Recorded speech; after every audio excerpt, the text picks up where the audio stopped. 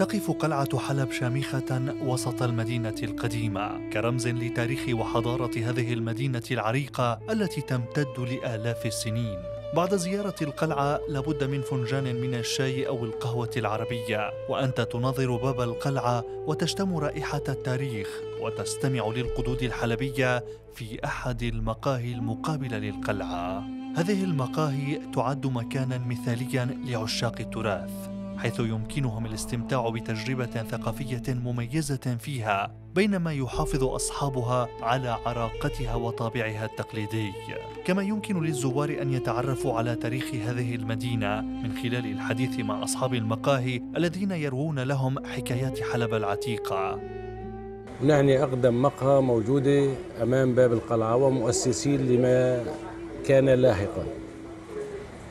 طبعا المقاهي هي منتديات أو أماكن تجمعات لتداول الآراء الأحاديث. وكان ما يعرف آه، كانوا سابقا قبل ظهور التلفزيون وما أتى بعده من تكنولوجيا.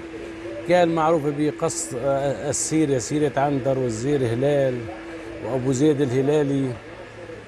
وبعدين تطورت الأمور بوجود الشاشات والتلفزيون والمنطقة سياحيه وبحاجة يعني ل مقاهي أكثر عدد وصار ما شاء الله محيط القلعه كله مقاهي. مالك شايف المنطقة على ازدياد منطقة سياحية؟ يعني عندك الله القهاوي مثلا. ما شاء الله يعني 24 دائما متواجدين العالم فيها خصوصا بالصيف ما بسكروا طاولة. عندك هي أقدم قهوة كافيه القلعة. من عام 1915 تقريبا.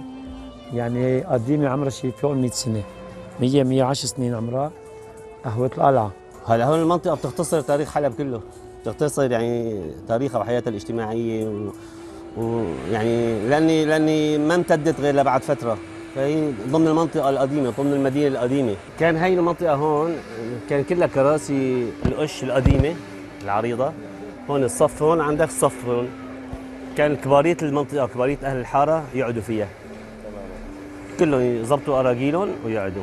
لهم قعدة صار يوميا بشكل يومي. كلهم الكبار لهم قيمتهم بالحارات لهم مثل باب الحارة شلون هلأ؟ هيك. أهمية القهاوي حوالين القلعة. إنه هي بتعطي صورة حلوة وجمالية. أول شغلة حوالين القلعة وكويسة إنه للسياح لما بده يجوا بيقعدوا فيها. رفاهية كذا. تقدم مناطق حوالين القلعة يقول زائر لابد من أن تشعر بروح حلب القديمة عند جلوسك في أحد مقاهي القلعة. هذه الأماكن المحببة للحلبيين ولجميع زوار المدينة.